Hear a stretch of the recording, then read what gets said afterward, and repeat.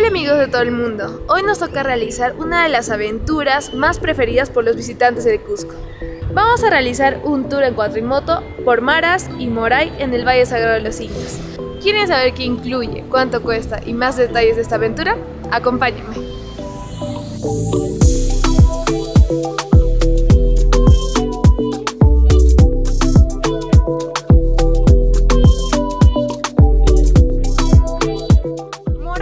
Por sus andenes circulares hechos por los incas, Maras por los cientos de pozos de sal que tiene y forma un paisaje espectacular.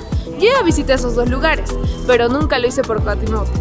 Bueno, la verdad no tengo experiencia, así que tengo un poco de miedo. ¿Será peligroso? Acompáñenme.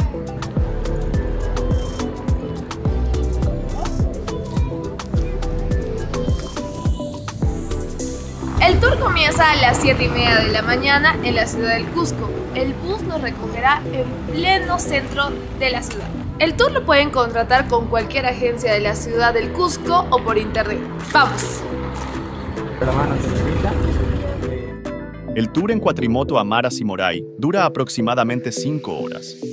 Partimos de la ciudad de Cusco alrededor de las 7 de la mañana y tras un viaje de unos 50 minutos en minivan, llegamos al pintoresco pueblo de Cruzpata.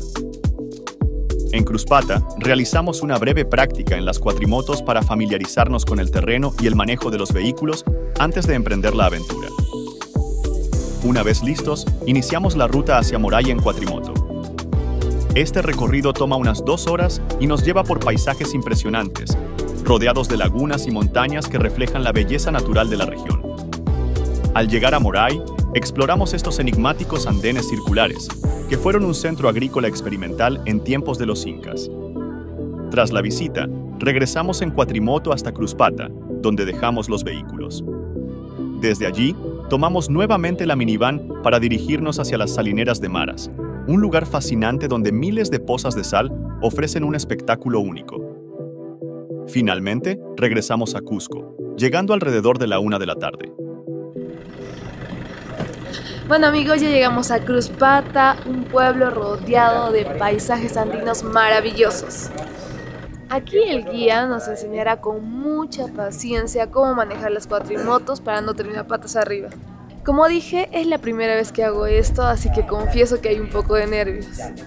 Vamos a ver qué sucede. La fe es lo más lindo de la vida, así que vamos, con mucha fe.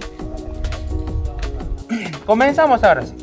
Miren, como les comentaba de mí, mi nombre es Anthony y yo voy a ser vuestro guía de ruta junto con mi compañero Ismael que está por la parte. Damos contacto a la llave, la cuatrimoto tiene que estar en neutral, una vez en neutral, botón de encendido con aceleración para que, ¿no?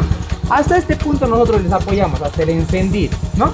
Les indicamos cambio número 2 para comenzar, hacemos el cambio hasta la 2 y ya comenzamos, ¿no? Vamos por allá, nos ponemos los casquitos siempre con el seguro.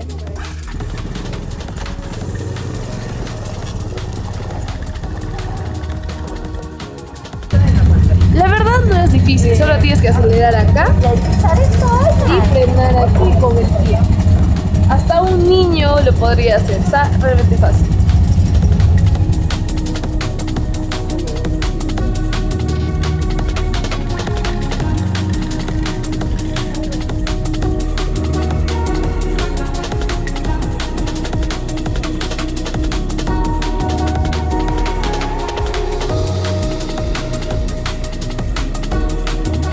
Amigos, estoy comenzando a manejar y la verdad es un poco difícil manipular el timón, así que tiene que tener bastante fuerza y ponerse concentrados para estar Los caminos son en trochas y lleno de polvo, así que tienen que estar preparados para ensuciarse hasta el cuello. El tour incluye la entrada a Moray, pero si vienen por su cuenta, deben de comprar el boleto turístico que cuesta 70 soles peruanos. Además de Moray, el ticket incluye la entrada a Pisac, Ollantaytambo y Chinchero. Los tours incluyen entrada, así como el transporte, las cuatro motos, los equipos y el guía de turismo. Amigos, miren esos paisajes hermosos, el cielo tan lindo. Esto solo se ve en nuestra sierra. En el recorrido se puede ver el Nevado de la Verónica y el Nevado de Chicón y también algunas lagunas y varios terrenos de sembríos de papa.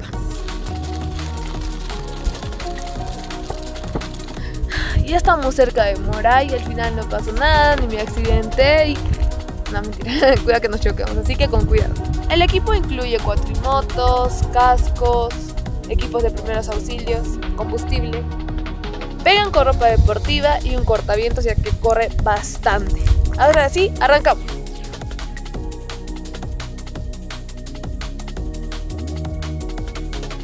Llegamos a Moray, uno de los lugares más visitados por los turistas. Estamos a 3.500 metros sobre el nivel del mar. Haremos el recorrido junto a nuestro guía, así que vamos. Estamos en Moray. Moray más o menos está ubicado a unos 60 kilómetros de la ciudad de Cusco. La altitud que tiene este lugar es 3.500 metros sobre el nivel del mar. ¿sí? Moray y en quechua Muyuy Uray. ¿Qué quiere decir Muyuy Uray? Muyuy es una vuelta, Uray hacia abajo, círculos completos concéntricos en la parte baja o hacia abajo. ¿sí? Ahora, ¿qué fue Moray en sí? Moray fue un centro laboratorio inca. En este lugar lo que hacían los incas era climatizar o adaptar diferentes especies que solo te voy a mencionar tres, ¿ya? Maíz, papa, quinoa. ¿Cómo es que aclimatizaban? En sí cada terraza o cada andén que estamos observando tiende a variar de diferente temperatura. Varía entre 1,5, 2 o hasta 3 grados de temperatura de terraza en terraza. ¿sí? Es decir, la parte más baja hay mucha concentración de calor, le podríamos llamar zona o clima cálida. Y va subiendo un poco más arriba, más. Se dice que en este lugar, al momento del hallazgo de este lugar, se ha llegado a encontrar plantas de zonas o climas tropical, tropical, tropicales, perdón, como por ejemplo la planta de coca o las plantas cítricas naranja, entre ¿ya? Perfecto. a estos andenes en forma circular vamos a llegar a encontrar en este lugar tres ejemplares. Esta es la más grande, al otro lado hay una mediana y a este lado una más pequeña. La diferencia de estos dos, andenes con esto eh, son solo redondas. Esto tiene una forma muy particular como es la, una fruta, la pera o la palta. ¿ya? Y observamos muy bien las piedras que están en diagonales que bajan, sobresalientes son las famosas escaleras flotantes. En quechua normalmente se les llama sarunas, ¿ya? Y esos dos cuadrados que vemos ahí abajo, eso es una base, una cimentación de una casa en ese lugar se hacían los famosos injertos. Mayormente se hacen las plantas cítricas, ¿no? Eso sería respecto de Moray en sí. A primera vista parece un inmenso anfiteatro, pero en realidad no es así. En realidad son andenes circulares, una construcción muy rara para los incas. Son muchos los turistas que llegan aquí para tomarse fotografías con este hermoso paisaje. El recorrido por Moray sigue una sola dirección. Está prohibido retroceder. En varios puntos existen miradores donde se tiene una vista espectacular de los andenes. El guía turístico dará las explicaciones necesarias. Hace unos años se podría ingresar a los andenes, pero ahora no, porque cuidan mucho este lugar. Ya saben, cuidan las construcciones incas para que perduren por siempre. Hora de abordar nuevamente los cuatrimotos. Vamos a ir de regreso al pueblo de Cruz Pata por el mismo camino que vinimos.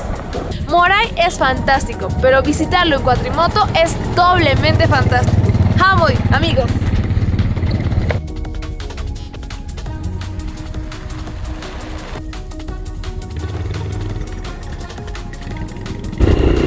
Estamos de retorno, amigos.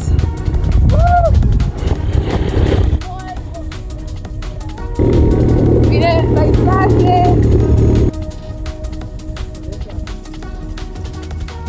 Amigos, estamos en nuestro último recorrido, ya nos vamos de nuevo de vuelta a Cruz Pata.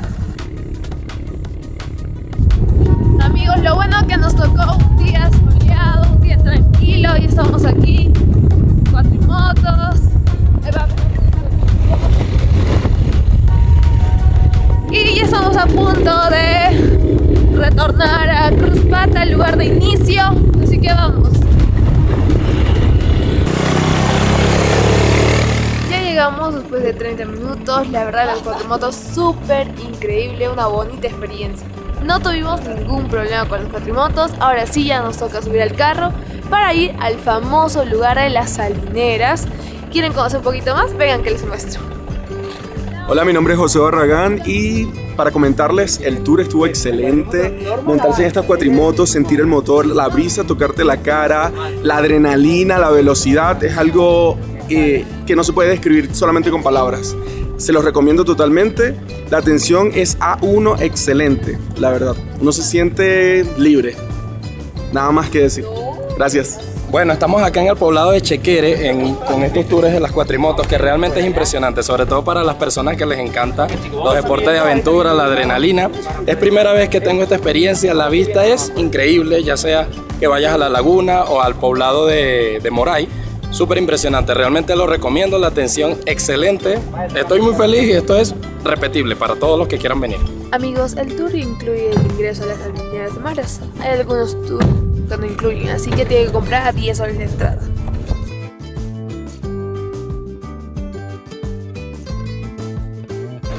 Ya llegamos a las salineras de Maras, un lugar muy popular en Cusco.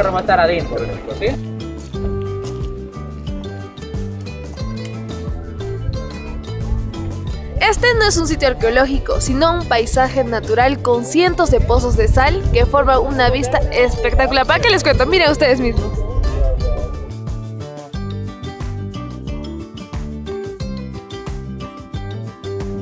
Miren amigos, Maras tiene uno de los paisajes más alucinantes del Cusco.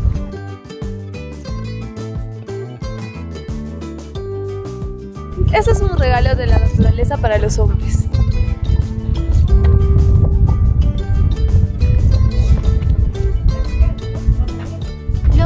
Supieron aprovechar esta sala. Ahora son los pobladores locales quienes se organizan para trabajarla. Y la sal de aquí es repartida por los principales mercados del Cusco. Gracias Pachamama por darnos esta belleza.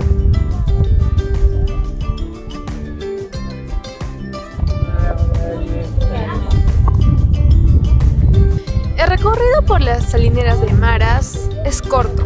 Antes se permitía ingresar a los pozos de sal, pero ahora no es así.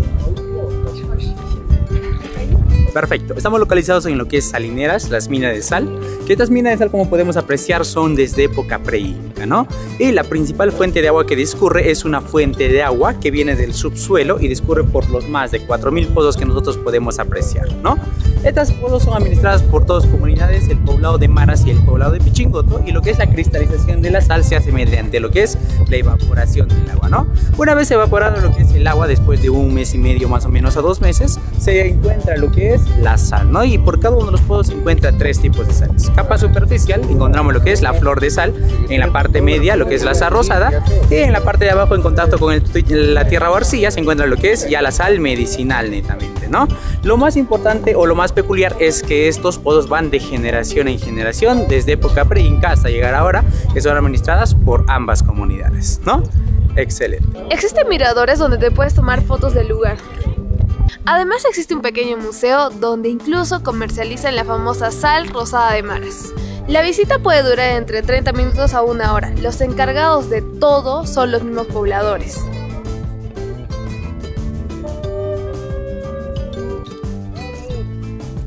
Bueno, damas y caballeros de todo el mundo, la mejor forma para mí de visitar Marte por ahí es por cuatrimoto. Ah, casi me olvidé de decirle los precios. Depende del tour que elijan y qué agencia, el precio varía de unos 100 a 200 soles peruanos. Ojo, estos precios incluyen todo, el transporte, la moto, las entradas, el guía. Bueno amigos, ahora sí me toca despedirme. Fue muy bonito venir a Maras Moray en Cuatrimoto, así que nos vemos en una próxima. Les espero en mi hermosa tierra del Cusco. Adiós.